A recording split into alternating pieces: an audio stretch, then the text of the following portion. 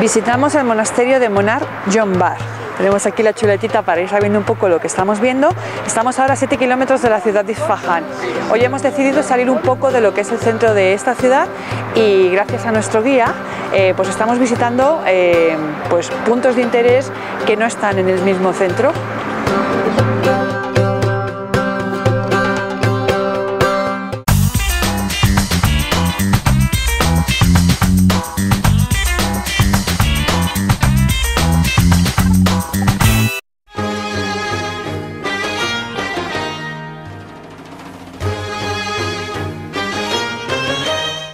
Mausoleo de Amu ad-Dubal está a 7 kilómetros de la ciudad y es un rincón muy interesante de Isfahan. La tumba del Santón Derviche atrae a muchos fieles, pero la singularidad del edificio ha eclipsado al santo.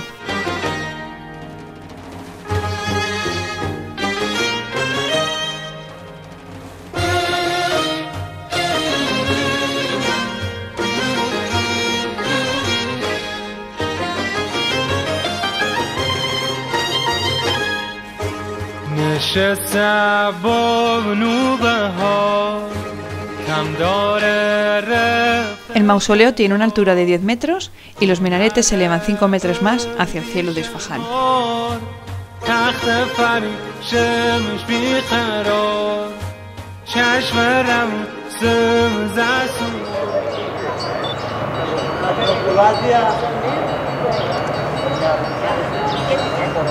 Todas las miradas se centran en sus minaretes vibrantes, los Menar en Jombat. Varias veces al día, una persona sube hasta uno de ellos, lo mueve y consigue que el otro minarete, simétrico, se mueve sin que nadie lo toque.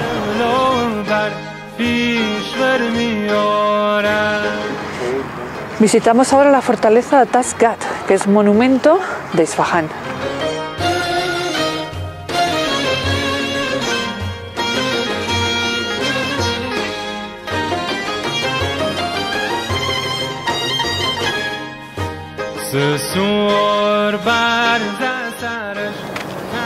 Pero he llegado. Templo del Sol. Isfahan. Allí al fondo. El complejo arqueológico de Atasgat cuenta con los restos de una antigua ciudadela que se eleva a 210 metros sobre la llanura y culmina en el maravilloso Templo del Sol, uno de los lugares más importantes del zoroastrismo en Irán.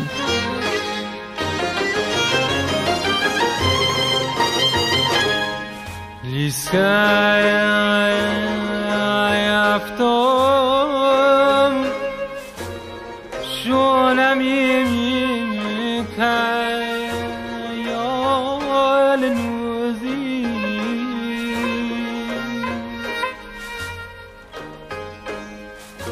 دختری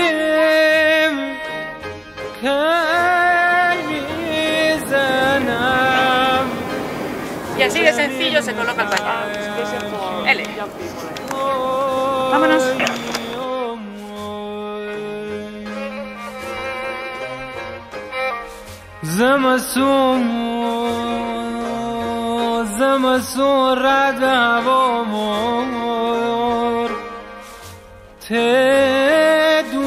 te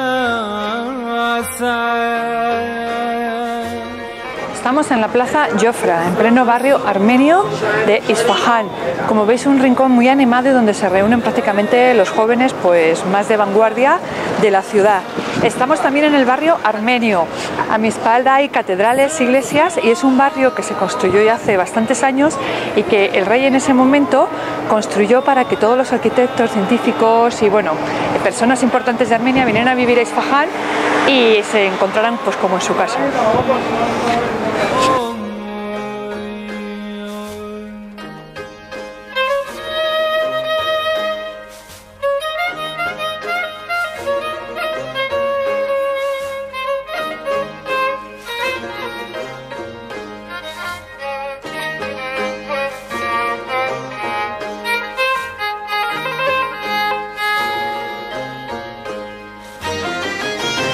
Visitamos ahora la Bank Catedral, que es aquí la que tengo al fondo, y justo enfrente visitaremos el Museo del Genocidio Armenio.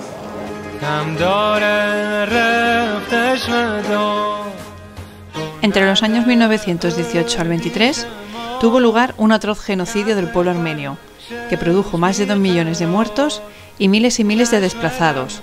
Aquí se les rinde homenaje.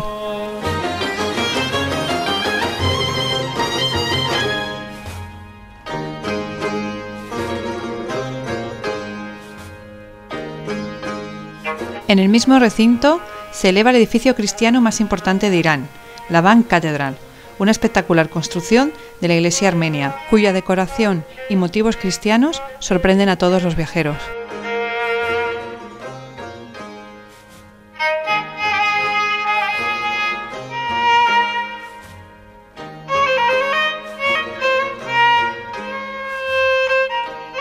Todas las paredes, los techos y las cúpulas están totalmente repletas de murales y pinturas.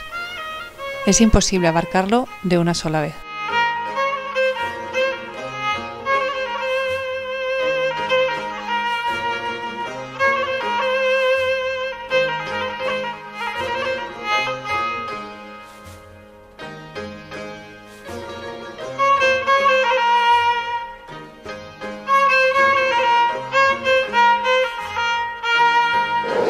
Encontrando poco a poco con muchos españoles. Es increíble eh, la cantidad de, ya no turistas, sino viajeros, porque vienen en muchísimas modalidades, no solamente como nosotros de Couchsurfing, sino en autocaravana, viajes que hacen así pues de una semana para conocer el país.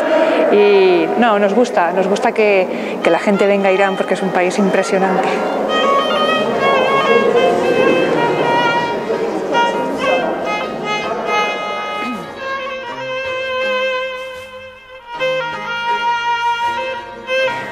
Justo hemos dejado a la catedral y el Museo de Genocidio y ahora nos han invitado a que visitemos una tienda de alfombras armenias.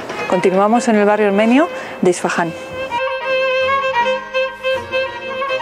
Es frecuente que mientras visitas el barrio te salgan al paso desde diferentes tiendas para animarte a visitarlas. No os preocupéis, podéis decir que no, pero merece la pena porque además te ofrecen una hospitalaria taza de té.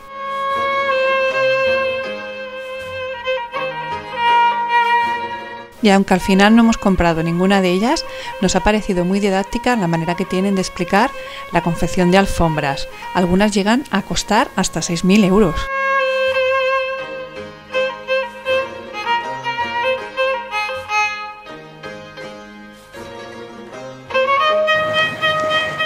Pues además de por sus monumentos, sus ciudades históricas y por desiertos y todo lo que hay que ver, posiblemente Irán destaque por la amabilidad y la hospitabilidad de, su gente. Eh, a lo largo del viaje llevamos tan solo una semana y nos quedan otras dos o tres. Eh, estamos descubriendo el carácter hospitalario y de acogimiento que tienen en Irán. En cualquier momento te paran, te piden hacer una foto contigo, te preguntan de dónde vienes, si quieres un té. Ya nos ha pasado algo muy curioso porque hemos llegado a este parque, eh, veníamos a casa de la persona que nos tiene en acogida y no hay nadie. Entonces, pues necesitábamos un lavabo y un señor ya enseguida ha venido, qué, qué problema había, le hemos preguntado al toilet y bueno, pues nos ha llevado hasta su casa y nos han ofrecido pues pasar para que pudiéramos ir al lavabo y luego su madre nos ha sacado nísperos y cosas. O sea que no tengáis miedo de venir a Irán, que, que son muy buena gente, de verdad.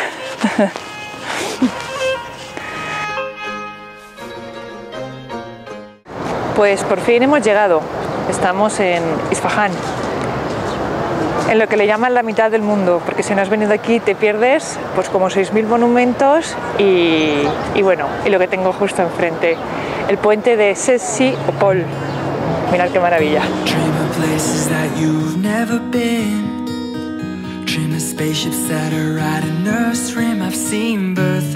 Si hay algo de lo que se sienten orgullosos los ifajaníes es de sus puentes, punto de encuentro obligado para todo visitante de la bella ciudad conocida como la mitad del mundo debido a los soberbios números de monumentos que contienen, más de 6.000.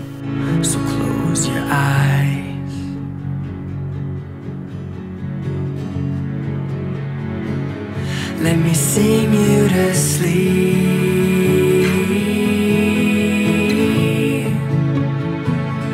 Let me sing you to sleep,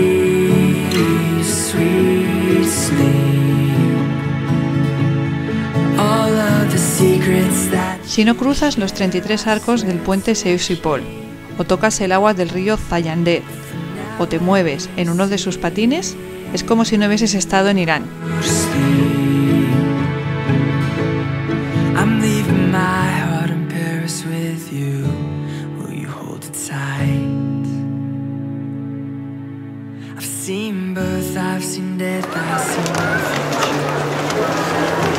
Pues acabamos de cruzar uno de los puentes más bellos del mundo. reflections and some white in our hair, but it's fine. I watch our kids laugh and grow, and their bodies will glow with light. And every night.